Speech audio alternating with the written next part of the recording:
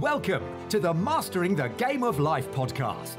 In this podcast, there'll be insights around three key areas to mastering the game of life purpose, prosperity, philanthropy.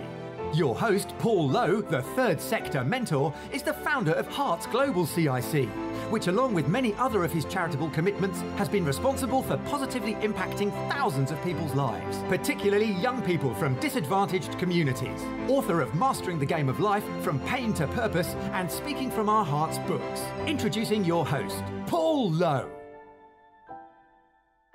A very warm welcome to you, the listeners. And as we focus this episode around the title, Never Give Up, I'd like to extend that welcome to Christel Rohrs, a life coach and counsellor from South Africa, and she's kindly agreed to share her story of dogged tenacity with us. Welcome, Christel. Thank you, Paul. So maybe we could start by asking the all important question why should we never give up? Well, um, I think that not giving up is the only option that many of us have in life because we've got to live this life. And uh, if we if we do give in uh, to our natural sort of tendencies to to want to give up when things get too tough, if we do that, then uh, life basically ends, or it becomes a very miserable life.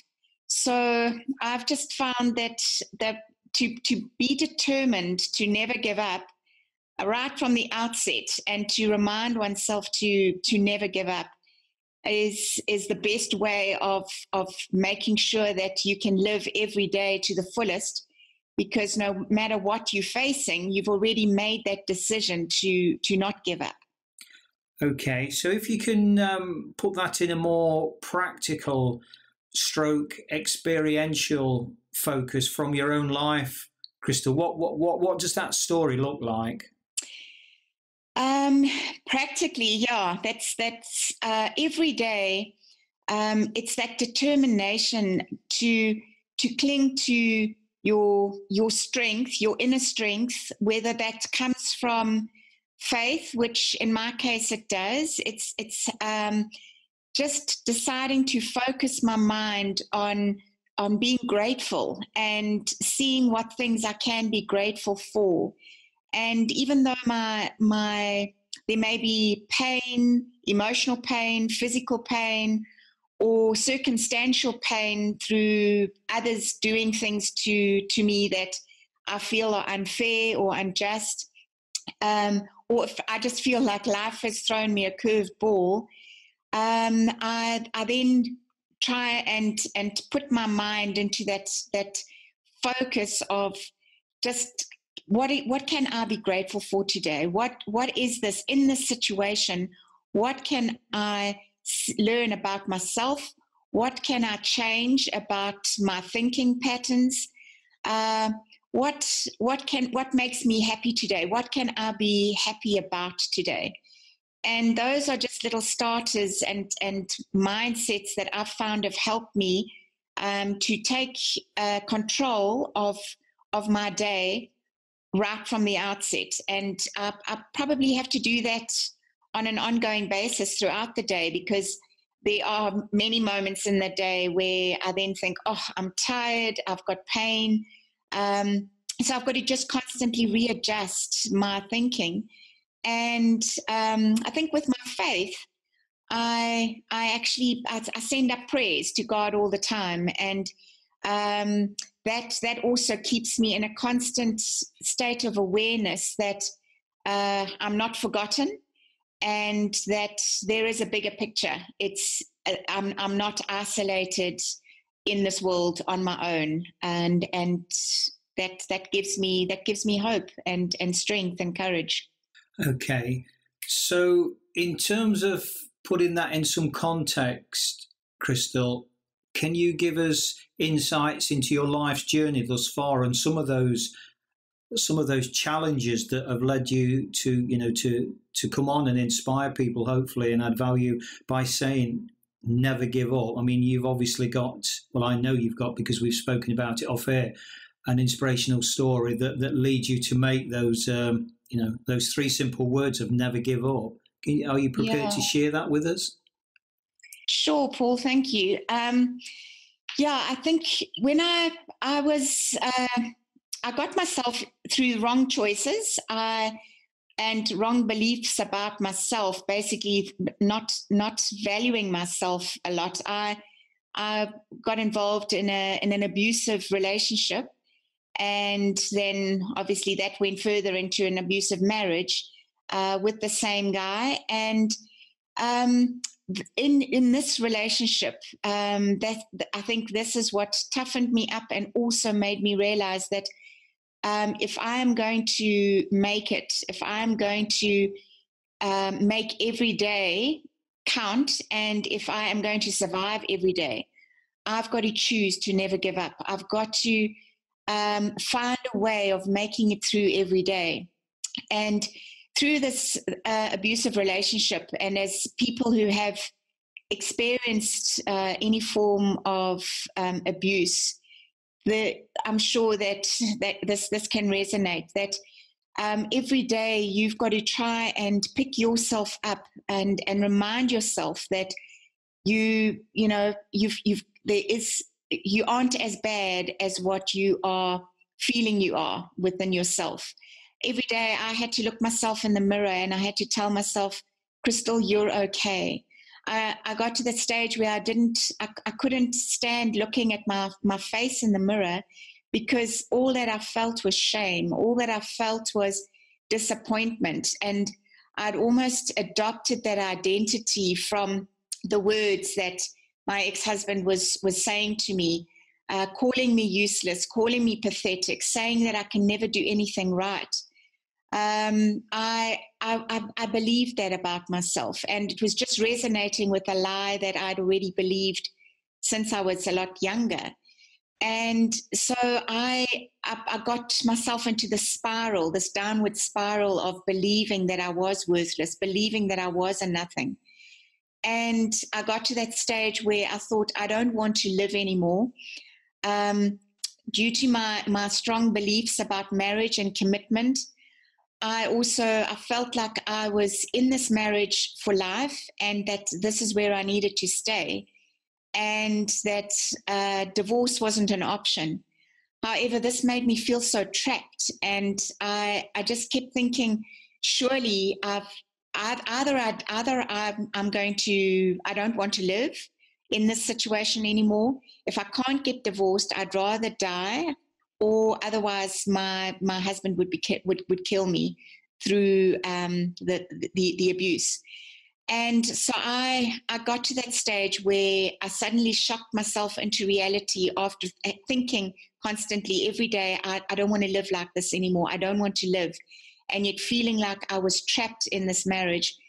I I came to a decision through journaling and um, re- realizing on paper what my life actually was. I, I, I then decided I've got to do something about this. And so I made a decision to, to at least try and get out of this myself, emotionally and mentally. Although physically I was not sure what, what was going to happen, whether I could ever leave, I decided that emotionally I was going to get myself out of this pit that I had found myself in. And that's what led me to start looking in the mirror and telling myself every day, Christel, you're okay. And even though I didn't feel it on the inside, just by saying it, eventually I could look at myself in the mirror. I could, uh, I, I would not look away or look down, but I would be able to look at myself, look into my eyes in the mirror, and tell myself that I'm okay. And uh, from there, the journey just continued, where then I started building myself up with positive affirmations of things that I knew to be true, um, changing those beliefs about myself from um, you're a nothing, you're a nobody, you can't do anything right, you're useless, to actually finding good points about myself.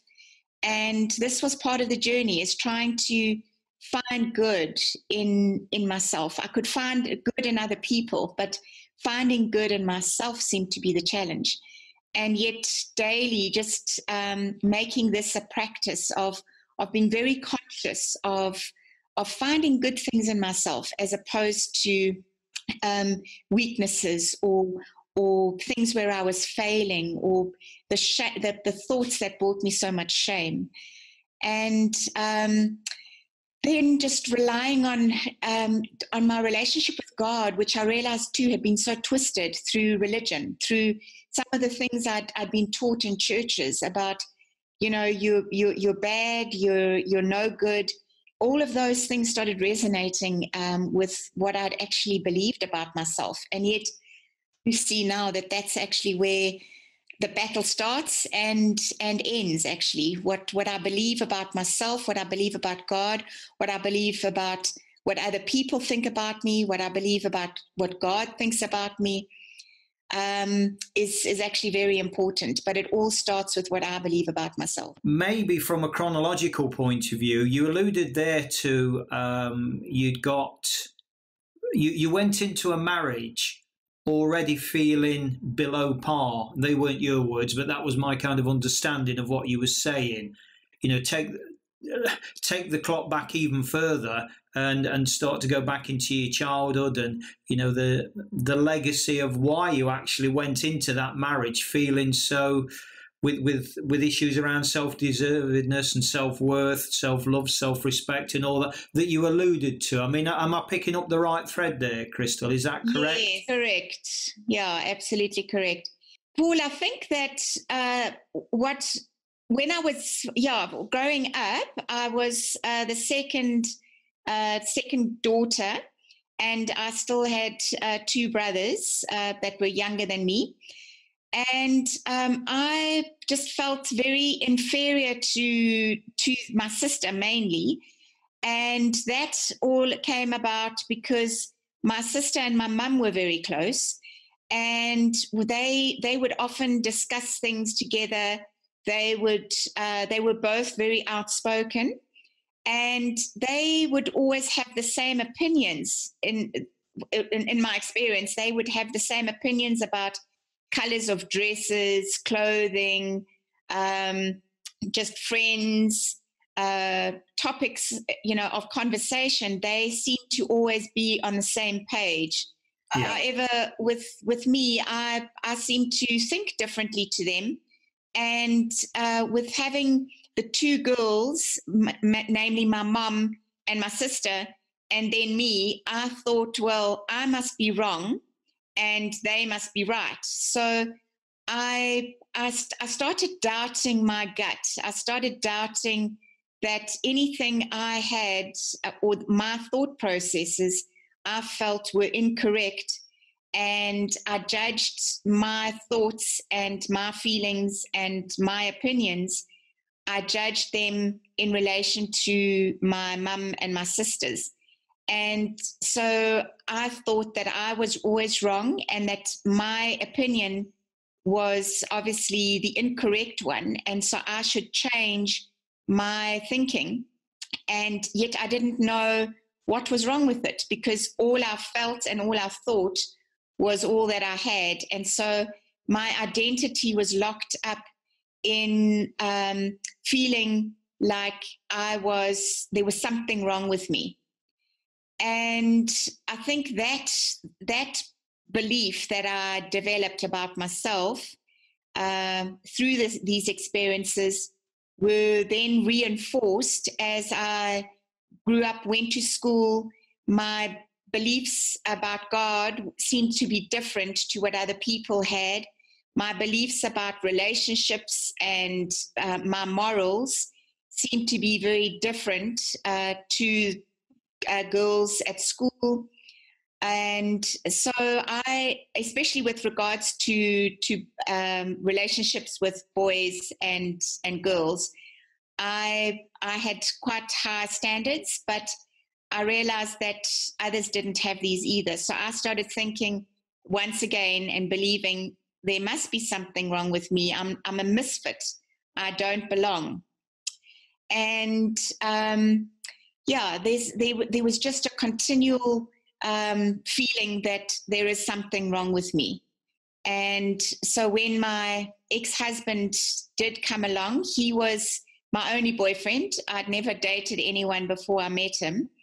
and it was basically because I wanted to keep my life pure and I didn't want to um, get involved in a relationship that was just going to be um, a fling or um, something that wouldn't go anywhere. So I think my ideas, I had very idealistic um, ideas and values, and I thought that they were they they they were obviously wrong because that nobody else seemed to think that way. I think this just reinforces and, and you know this conversation so many times Christel and, and, and why wouldn't we as coaches because the power of beliefs you know when we're on that track of a certain train of thought and these this mm. deep rooted belief system whether that's right or wrong because what is right and what is wrong is very subjective yeah. uh, ultimately i believe it's what actually serves us and makes us feel happy and I know that that word happy can almost become cliched, but certainly from my own research and my own experiences of life, actually, it is as simple as that. When we, when yeah. we look, and this is my personal view on things, around who we are at our true core selves from a, from a newborn, it is around mm. the the peace, the love, and the happiness that we have naturally. It's our right. It's our birthright. It's who we are at our core. And then as time goes by, we you know, we get another layer of challenge and then we get another layer of challenge on that. So we stick a plaster on and that plaster is a is, is got a label on it that says you are um, you are to use some of your words Christel. You are a misfit. You are inferior. You are no good. You know you mm. compare yourself with others which is a recipe for disaster as we know. So you know as we travel and as we grow we're not actually growing we're yeah. ungrowing, if there's such a term. Um, but that's the natural evolution of, of what what happens to us all, isn't it? To we get to a stage, I think, of emotional intelligence and awareness to say, well, you know, I'm not happy. This is not right. Whatever my beliefs are, they're not serving yeah. me. So maybe I look around me, and that doesn't mean I have to compromise myself to the way other I perceive other people are, or not as the yeah. case may be. But I have a right to be happy, and this belief system that I currently hold is not making yeah. me happy. Yeah, it's so true. I always kind of revert then, Christel, to, to Gandhi's seven steps that start with beliefs and end in results. And, mm-hmm. and I've yet to find anything more powerful than this because, not from a, a nice, convenient package and theory point of view, but when I make sense of my own journey and obviously speaking to a lot of people around the pain they're suffering and the journey that's took them from, you know, from that pain to, to a place of, of peace and love and happiness, is it all starts with our beliefs. Everything starts with our beliefs, which then lead yeah. into our thoughts. Our thoughts influence our words. Our words influence our actions, which in turn influence our habits, our values, and ultimately our results. So, what we believe is what we become. It becomes absolutely a self fulfilling prophecy, doesn't it? Yes, absolutely. That's such truth. So, what was that golden moment, if there was, if it was, if I'm not being oversimplistic, mm. Christel, to single out a single moment or moments where you accepted, I wouldn't say realized, because you probably realized on an ongoing basis that your beliefs weren't serving you from what I've heard you say.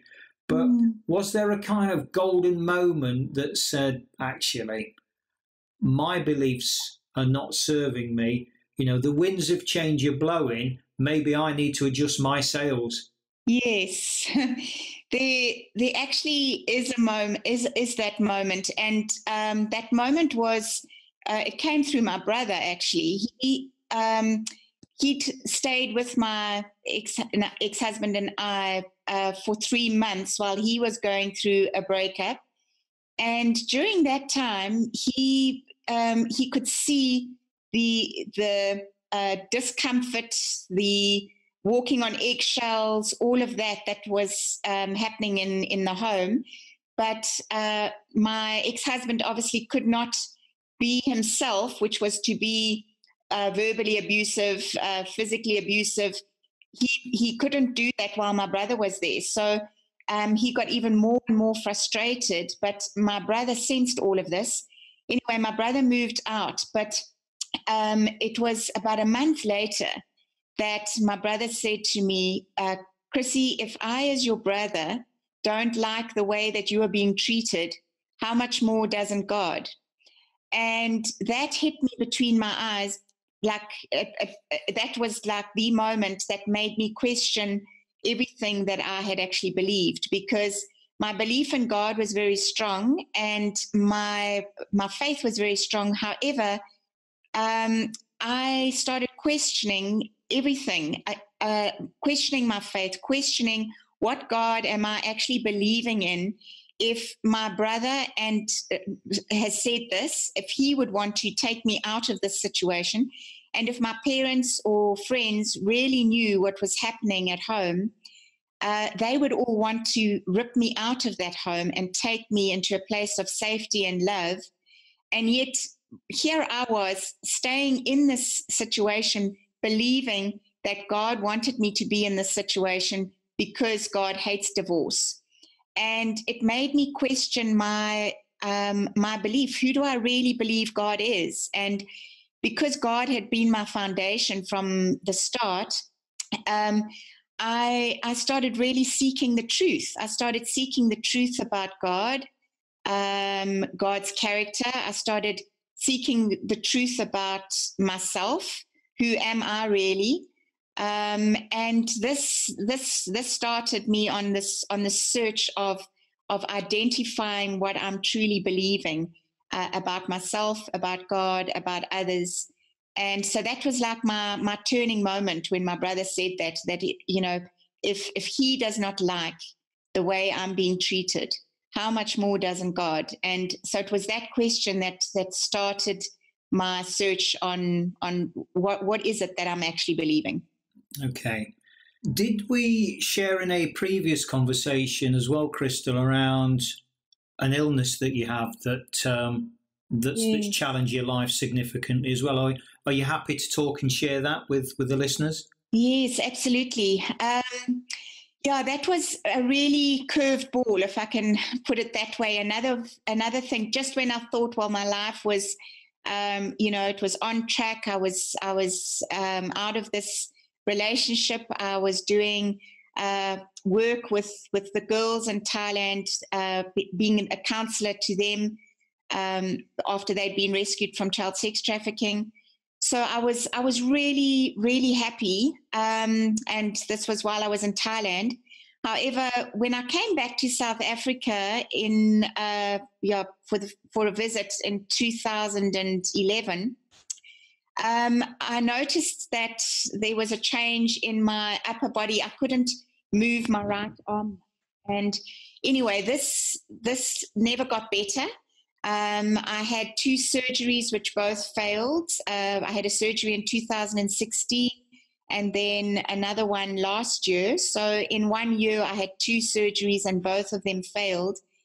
So uh, in March this year, I was I went to another specialist, and then again had another a, a second opinion shortly after that, a few months after, and they diagnosed me with FSHD, which is facioscapulohumeral dystrophy. So it's a type of muscular dystrophy, which is a chromosome disorder. So it's genetic, and uh, doctors don't have any hope for this um, or any cure at, the, at this stage. So um, the condition that I'm living with at the moment is that I can't raise my either of my arms uh, because I can't raise either of my arms higher than shoulder level, well, rib rib cage level. So I need to lie down on my bed or on the floor to put my shirts on in the morning, to put my dresses on. Washing my hair is a challenge. I've got to bend forward um, while I'm in the shower and and hold one of my arms to wash once uh, while I, I, scrub the one side of my head and then the other side. Um, I can't I, I, I can't lift uh, and reach for mugs or cups uh, on my own, or otherwise I have to uh, support my right arm with my left arm, um, holding it at its elbow to try and reach for things. Brushing my hair, combing my hair, the daily, the daily things. Uh, even eating, I've got to put my head to my plate because I can't lift my arm high enough without dropping my food on my fork. Um, so all of these, this has become a, a real challenge. Um, over this last year because it's just been a series of deterioration um, of my muscles. And um, so this has been another instance where I've had to remind myself to never give up, to just keep looking for the great gratitude, be, be grateful that I, I have strong legs and I keep those strong. I still do, I go to the gym three times a week just for 20 minutes doing, um, you know, muscle, stomach exercises, core exercises, doing um, weights for my legs to keep those strong because I do depend on those to to pick up things because I lean on them with my arms um, to pick up things off the floor or to bend over, pick up a cup of coffee. Um, the little things. So I've got to be, I'm, I've, I've got to every day remind myself to be grateful for these little things, find the joy in the little things, and um, have hope that if I just keep looking forward and if I keep uh, my mind positive and keep grateful, then um, every cell in my body will also naturally have to follow suit. Whereas the only other alternative would be to lose hope, give up, and then um, end up not wanting to get up in the morning or not wanting to go to work or not wanting to do anything and that would obviously be disastrous. So it's either um, reminding myself to to never give up, to keep um, positive, to keep my joy going, to find joy in the little things, to give to others, give of myself to others. I can still speak, I can still talk, I can still laugh, I can still share and encourage other people. Um, and that is the greatest gift that I can I can give of myself. And then another point to just remind myself of personally is that um, at the end of the day, my identity and who I am is not my body. It's it's it's within me. It's that is who I am, and that my body is just the shell and the covering, and that that that gives me hope because um, my even though my body may feel weak, it doesn't mean that internally I have to be weak um, internally, if I am strong, it will help my body to be strong. Absolutely. Yeah, it's a great way to put it. Tell us if you share with us, if you will, Christel, a little bit around your work working in Thailand with the uh, with the young girls. Yes. Um, oh, it's it's it all starts um, in a nutshell. I can explain how um, in Thailand the the underlying belief that they have, which comes from a type of Buddhism that they practice. It's called Theravada Buddhism. And uh, they are the Thai people are such peace, peace-loving people. They are such devoted and committed people, and so committed to their religion.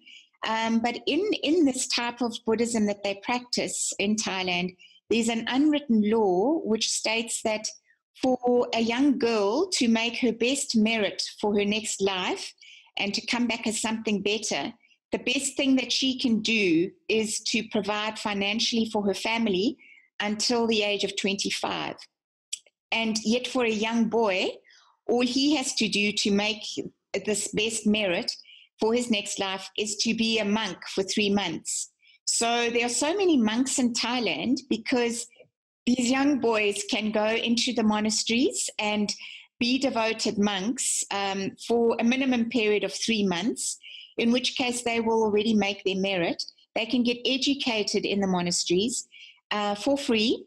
But for girls, um, they they get educated free by the government up until sixth grade. So every um, all all children can get educated uh, free by the government up until sixth grade. So they're normally about 11, 12 years old.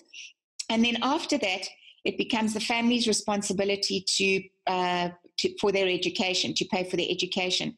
So, in the northeast of Thailand, especially where the, there's a lot of um, poverty and there's that they mainly do rice farming, this is where a lot of the girls um, then find themselves in a position where they start to worry, as well as the parents. The parents worry, how will our daughter ever make her merit and come back as something better in her next life if they cannot afford to send her to school because then she can't get a job and she won't be able to send money home, which would determine her merit making.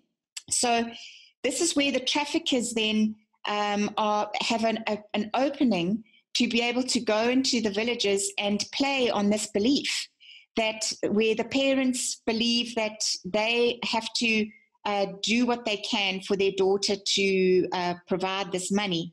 So when the traffickers go into the villages, they dress up in smart suits and they'll say to the parents, uh, we can take your daughters and give her a good education and a job and uh, we'll we'll take them and and be able to provide this for you.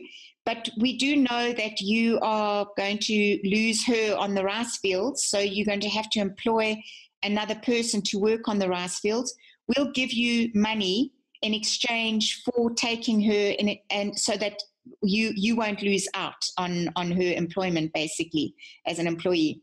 So they take her to the villages and then they in, into Black Bangkok or Chiang Mai, and um, they they will then uh, put her into a bar, and that's where she starts with her prostitution work, so to speak, because every every bar in Thailand um, has the opportunity to be able to for the girls to to be to be sold so um, or bought by, uh, by, by the by the tourists um, and also locals. So, this underlying belief is what actually causes these girls to be trafficked and also to volunteer to go and work in the cities so that they can provide money for their families, send money home. And this way, they believe that they are going to be making their best merit and come back as something uh, better in their next life.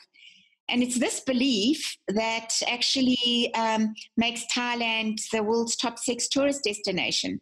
Because as we know, there's prostitution in every country, but Thailand is known as, the, as, as a, a sex tourist destination.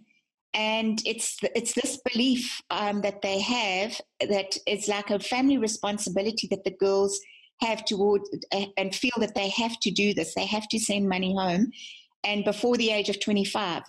So they believe that the younger they start, the more merit they can make. But their dream is still to um, find a foreign man who can marry them, and then um, he can be uh, the, the, supplier of the money to send home rather than them having to prostitute themselves. So um, it's once again goes back down to beliefs. What what they believe has actually led them into this lifestyle of um, which which doesn't doesn't actually work for them. That must have been really challenging for you, Christel, though, bearing in mind your, you know, your your moral code, the way your formative beliefs were, and all the things that you stood for um, in the in the early part of your life, to then go into that extremely contrasting culture, belief system, call it what you will, that must have yeah. played havoc with you. Paul, it, it, um, you know, the amazing thing was that I think after the experience that I'd had in my in my marriage, um, where I felt like I was a nothing, um, I felt almost like a prostitute to my to my ex husbands um, from time to time, and um, I think I I was so broken within myself, but it, it, it humbled me. That whole experience of going through that that marriage, that abusive marriage, really humbled me to to realize um, how I had actually elevated myself uh, within within my my attitudes with my towards people, um, how judgmental I had been, and yet um, you know these these girls their their actions did not make them who they who they truly are. The fact that they were prostituting themselves was all done out of a belief and a brokenness that they didn't even know was was was wrong in quote unquote. It um, so yeah, I had such empathy, such compassion because I knew that after speaking with them and and speaking conversing with them and and hearing their stories that inside they were just as broken as as I was and um, in in my marriage and that uh, you know they at the end of the day were just seeking for love in exactly the same way as I was. Uh, they were just looking for acceptance approval love um, and and and a, and a good future. And yet, this was the only way that they knew how to get it. And they would say to me, "It does not matter how they suffer in this life. What matters is their next life." And so they were basically sacrificing their bodies and sacrificing their happiness in this life so that they could come back as something better in their next life and so yeah this just just uh, conversing with them getting to know them was just such a privilege and um, to realize that they are just like me. They, they just we, we all are the same. Inherently we all just want love um, and acceptance and happiness. And um, yeah they were just they were doing what they thought was best based on their beliefs and I actually agree with the uh, what exactly what you've just said there, Christel. Because when we look at the the insecurities or the the inherent beliefs that we have, or the fears, is probably a better way to contextualize it for every single one of us. Is and I say this consistently around two things. One, we will never be loved, so we will, to quote Meatloaf, we will do anything for love. And the other one is we will never be good enough. And, you know, to have those fears within us, and we all have them to varying yeah. degrees, it doesn't yeah. take much then to kind of exacerbate that and, and blow it wide open uh, from, from people that um, just let's say I've got ulterior motives. So, what I'm picking yeah. up here, Christel, and please correct me, I'm sure you will if I'm wrong, that your training, if that's the right word, of your experiences with your ex husband were exactly that. They prepared you for the work that then you was to do latterly with the girls in Thailand. Would that be a fair assessment, or am I wide of the mark with that? Oh, absolutely correct, Paul. Yeah, that's that's definitely it. And I think um, I've, I've, a lot of my life message, if I can, uh, you know, sort of give myself a life message, is is to say that nothing in life is ever wasted. Um, that every experience that we have, that there is a purpose to it. It's um, it may not be good at the time, and we may have made wrong choices. Like I did, I made wrong choice um, in in a choice in, in the husband, but and I have made many other wrong choices. But through that all, um, it's it, it, nothing nothing is wasted. Those those experiences, I think, if we have a right mindset and don't give up and we keep um, trying to focus on the positive and focus forward, nothing, no experience in our life, uh, no matter how bad it was, will ever be wasted. It will always lead to something that that that can benefit us or others um, in the future. You've used two words there, Christel, consistently. One was purpose, the other was experience. Mm. I believe that purpose for us. Okay, so so let me park the experience. Let me come at this from a different. What would you say is your life's purpose then, from from where you are now? Because obviously you can only comment in, in the moment where you are now. That that may change tomorrow, the day after, may have changed from yesterday, the week before. So if I was to mm-hmm. try and put you on the spot, and say, Christel, what is your life's purpose? What would you say? Um, I would say that it is is um, helping other people, helping others to discover the God given potential within themselves and to live their life to the fullest. Excellent.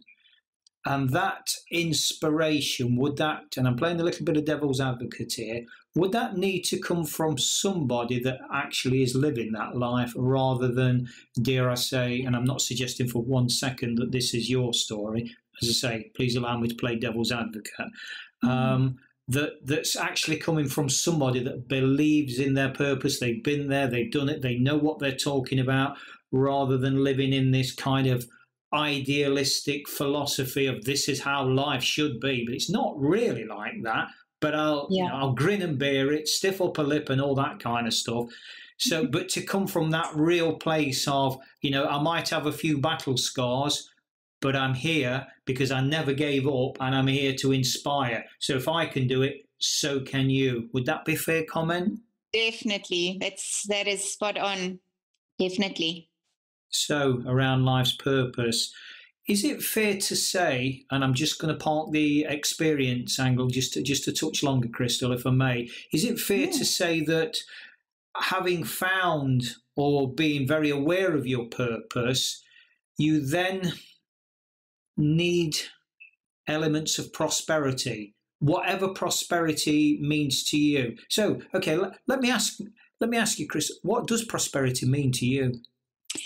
Um, it to me, prosperity means um, uh, knowing or, or having that that sense of fulfillment and purpose uh, and living living that every day that is that is true prosperity because that will then manifest in that that in a in a sense that you have of being fulfilled uh, daily living life on purpose will then lead to um, your own success uh, or like my own success which would mean that i am prosperous in every area of my life. So prosperity is is being um, being complete and whole um, and and uh, having the ultimate uh, being the best that you can be physically emotionally mentally um, financially uh, yeah in every area of, of of life to to truly uh, be the best that you can be. That's that to me is true prosperity in every area of your life to to um, be at live it to its best or have the best. Absolutely, and and you are you know you are living proof of that because you've already alluded to Christel, have you not? Around you know your the limitations of your your upper limbs, your arms, but you know the I picked up on the the passion you spoke about going to the gym for 20 minutes every day and you know working on your legs and your core your stomach and all that kind of thing. It's like okay so I might not be 100% there but that ain't going to stop me. In fact it's going to inspire me and fuel me to do even more with the things I can do. Absolutely. No that's yeah that's so true. Okay. Let me ask you a final question around what's your interpretation or perception of philanthropy? Oh, um, sure. Uh, can you expand on that a little bit more? Like what? Um, yeah, I haven't. I haven't actually even thought of that. Okay. Yeah. Sure. My pleasure. Um, Greek words for it are love of humanity. I mean, I think the, the natural reaction when I ask that question Christel, is for people to say, "Oh, I'm a multimillionaire and I set up schools in Africa or save the elephants," or you know, these monumental uh, contribution contributing projects, uh, which obviously are fantastic. But the reality is, for me, it doesn't have to be that grand. Uh, it is summed up in, in that Greek interpretation of love of humanity. Uh, it's yeah. giving back. And, and you've already alluded to it in your story and the reason I, have kind of took things down this this particular avenue is um, I'm constantly, constantly testing my three pillars model that's that has stood the test of time, both with myself and with people I've worked with. But I love to ask the question because it's about creating a model, I think, or a, you know, when we when we when we when we come across people and, and have conversations, Christel, is it not fair to say that as a generalization, people want a quick fix. They want to, you know, just give me a solution, that instant gratification. Give me a formula. You know, let me take a pill and it'll all, everything will be great. Well, as we know, life doesn't quite work that way. In fact, it doesn't work that way full stop. But what I've tried to do, and my rationale for my three pillars of life, which is around purpose, prosperity, and philanthropy, is actually saying to people, if you've got, if you're aware of those three elements and you can work towards them in your life, certainly purpose is massive, um, and you know, having the pleasure um, you know, of not just existing with a purpose, having prosperity in your life. So you feel good about yourself, and you've already alluded to that on more than one occasion. And then okay, so I've got a purpose. I know where I go. I'm going. I feel good about myself. I'm prosperous, whether that's emotionally, spiritually, financially, physical, whatever it is. It's usually a you know some kind of mixture of all that. And then because I've done all that, I actually feel I've got the authenticity and the power to give back to those less fortunate. And so it, it becomes like a, a, continuous improvement loop that goes round and round and round and just gets bigger and bigger. So that's why I come in at that angle, Christel, yeah. to, um, you know. Uh, yeah, I understand that. And I, and I think my answer to, to your question would be that. Um, through all of this, actually through through um, my story and to, which has brought me to right now, the interesting thing for me has been that um, my giving back to to the world, or my yeah, my feeling of of contributing back is is has been really minimized to no longer thinking that I've got to do something something great or something big, but it's it's more like um, the reality of being able to love the, the, the person that I'm with, the person that is with me in my space right now, loving them well. And um, being like just loving every person that I come into contact with, loving them well, then that's more than enough energy that I can uh, I can deal with at one time if I'm doing it properly. And I think with um, what this my whole experience of even why I needed to come back, you know, to South Africa and how that all worked out, which was obviously only in December. Um, and then having to deal with sort of, well, what am I doing now? How am I going to give back now? What am I, you know, what what am I doing? That was, um, it was almost like my identity um, had been. I'd taken so much love and joy and energy uh, doing what I was doing that I think in my mindset, I had also imagined that I need to keep making a difference um, by doing something major where, um, you know, I could see that a difference had been made. And so this year, I think one of the big things that I've, I've big lessons that I've learned is that that's uh, what, what my difference or contribution to the world is all that I can actually do and do well is to love the people in my life, love them well. And um, that's that's as simple as it is. And uh, focusing on that sounds so simple, but it's it's actually it's a, it's been a challenge for me because I've I've focused on it and thought um, every day, am I loving this person well? Uh, what would be the most loving thing to do for uh, myself and for them.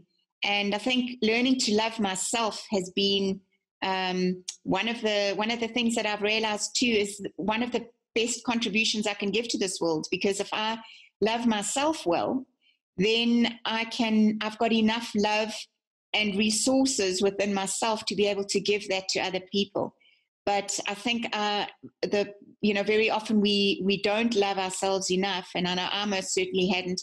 So I was running on an empty tank very often because I was trying to give out to others, especially in the line of work I was in.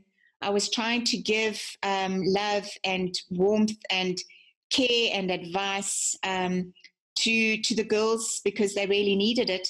But I was running on an empty tank because I hadn't realized that I truly wasn't loving myself. Absolutely, because you you know you cannot give what you don't have, and uh, I, I massively resonate with that story, Chris. Massively resonate with that because for many years, and it was about my healing, was exactly doing that. You know, it gave me significance, it gave me connection, it gave me certainty, it gave me uncertainty, growth. You know, it gave me so much to be able to give to others. The reality was, whether it was time or money or particularly emotion, the reality, well, I didn't have it to give. But that yeah. process of going through that, actually, there was great healing in that. And yeah. to the point where uh, my giving now comes from a totally different place, totally different. Yeah. It's um, yeah, I, I, I, totally resonate with that. Um, okay, so just flipping over to the experience element. Um, as I say, Christel, you used two words very consistently. The second one was experience, and I'd like to share at this point with the listeners uh, Rupert Spira's non-duality approach, where he talks about the mind, the body, and the world, and all and we don't dismiss these things lightly, but all they are ultimately is experiences. They come and they go. Mm. Our mind, however, tends to hold on to them. Yeah. And that's the problem, is or that's the challenge, isn't it? Because the mind is a, is a mechanism, isn't it, for protecting us first and foremost. And mm. if we've had an adverse challenge or experience in the past, what we do is tend to store that somewhere. Right, okay. So if I come across, um, I don't know, let me just make something up on, on my feet here. If I come across a, a guy that wears a blue hat, red shoes, and he's got a pink handkerchief, uh, and he does me a really bad turn, and I see somebody again that that fits that description, I'm going to have to be very careful because he will do me a bad turn, even though it's a totally different person and it might be years later or whatever the change of circumstances are. But my mind is saying, no, beware, pink handkerchief yeah. or, or, whatever. Now that's wrong. That's absolutely yeah. wrong. But that's what our mind does, isn't it? So I've got a, yeah. I, have got an approach now, Christel, where I'm, my mind is my best friend. But wow. I understand these experiences and how Spira describes it, and I think this is, for me personally, this has been massive. When we look at these things that come and go in our lives, that's exactly what they do. They come and they go. Happy hmm. experiences, sad experiences, challenging experiences, good, bad, indifferent, stick whatever label you want. But when it comes down to it, they're experiences. The one thing that remains constant throughout these things as they come and as they go is us at our core self, us, and that peace and that love and that happiness. That's who we are at our true core. And he likens it, and I think this is a fantastic model, as a TV screen or a TV monitor. And as we go through life, if we imagine ourselves as a TV screen or monitor, we host that particular scene at that particular moment in time. So we might be playing a happy scene Tomorrow might be a sad scene, but it's a scene, it's a script. It's like turning a page on a book.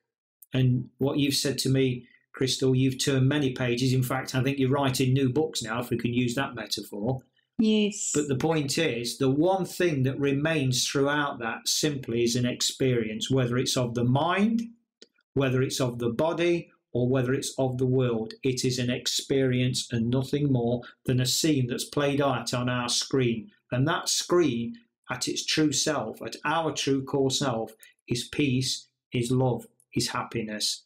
And I think for me personally, that's been a great breakthrough to, to detach from this confusion and this stuff that's out there. And yeah, but you don't understand how tough my life's been. I mean, I was in victim mode for that and justifying that for many years. And that became a self fulfilling prophecy in itself until yeah. I realized that just get over it. It's, you know, there's, there's people far worse off as there always will be. There's people far better off as there always will be. But that's not, that's not the issue. It's around that acceptance, isn't it, of who you are at your true core self. And then putting that in the context, I believe, of the three pillars of What's my purpose? Why am I here? Yeah, So It's brilliant. So, okay. So, have you got anything that you'd like to add at this point, Christel? Um, no, just to re-emphasize, don't ever, ever give up. okay i mean it's you know it's brilliant in its simplicity and something you know the best things in life are simple it doesn't need any further um, elaboration that, does it really? No, that's so true. Okay.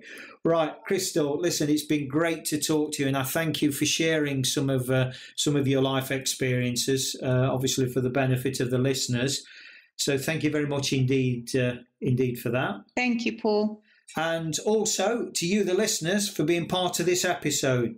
Until the next time, keep learning and loving, and remember, mastering life starts by embracing our hearts. Thanks for listening to the Mastering the Game of Life podcast.